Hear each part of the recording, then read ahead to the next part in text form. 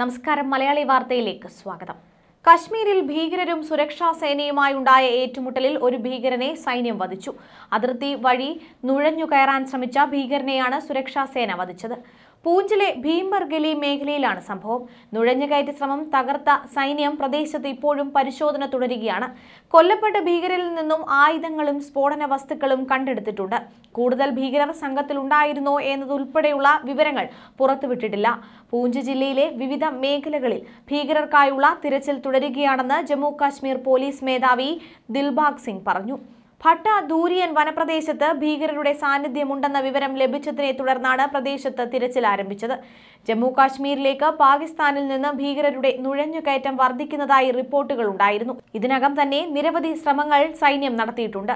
ഭട്ട ദൂരിയയിൽ ഇപ്പോഴും ഏറ്റുമുട്ടൽ തുടരുകയാണെന്നാണ് വിവരം. പ്രദേശത്ത് കൂടുതൽ തീവ്രവാദികളുടെ സാന്നിധ്യം ഉള്ളതായും സൂചനയുണ്ട്.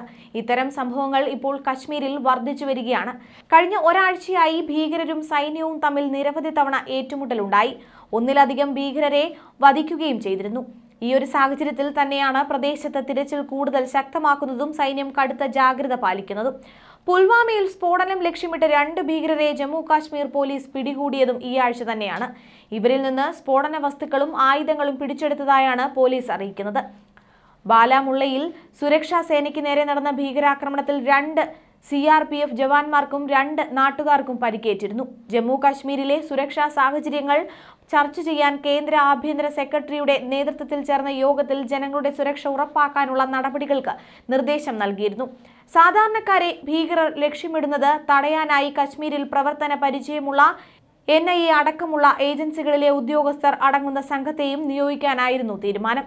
തീവ്രവാദികളെ ഉന്മൂലനം ചെയ്യാൻ ബി സർക്കാർ നല്ല രീതിയിൽ തന്നെ പരിശ്രമിക്കുകയാണ്. മോദിയുടെ ഭരണത്തിന് കീഴിൽ ഇപ്പോൾ തന്നെ നിരവധി ഭീകരവാദികളെ നമ്മൾ ഉന്മൂലനം ചെയ്തു കഴിഞ്ഞു. ഇപ്പോഴും ശക്തമായി തന്നെയാണ് തീവ്രവാദികൾക്കെതിരെ ഇന്ത്യ തിരിച്ചടിക്കുന്നത്. എന്നാൽ തീവ്രവാദത്തിനോട് ബി ജെ പി സർക്കാർ പ്രതികരിക്കുന്ന തീവ്രതയോടെ കോൺഗ്രസ് സർക്കാർ പ്രതികരിച്ചിട്ടില്ലെന്ന് നിർമ്മല സീതാരാമൻ കഴിഞ്ഞ ദിവസം ആരോപിച്ചിരുന്നു. തീവ്രവാദത്തിന് തിരിച്ചടി നൽകുന്നതിൽ ബി ജെ പി സർക്കാരാണ് മികച്ചതെന്ന് ധനമന്ത്രി നിർമ്മല സീതാരാമൻ പറഞ്ഞു. അതിന് ഉദാഹരണമാണ് പുൽവാമയും സുഞ്ചവാനുമെന്നും അവർ വിശദമാക്കി. വിമത കോൺഗ്രസ് നേതാവ് മനീഷ് ത്രിവാരി ഇരുപത്തിയാറ് പതിനൊന്ന് മുംബൈ ഭീകരാക്രമണത്തോട് പ്രതികരണത്തിന്റെ കാര്യത്തിൽ കോൺഗ്രസ് നേതൃത്വത്തിലുള്ള യു പി എ സർക്കാർ ദുർബലമായിരുന്നു എന്ന് തന്റെ പുതിയ പുസ്തകത്തിൽ വിമർശനമുയർത്തിയിരുന്നു. ഈ വിവാദ പരാമർശത്തോട് പ്രതികരിക്കുകയായിരുന്നു Nirmala Sitharaman. News desk Malayali Vartha.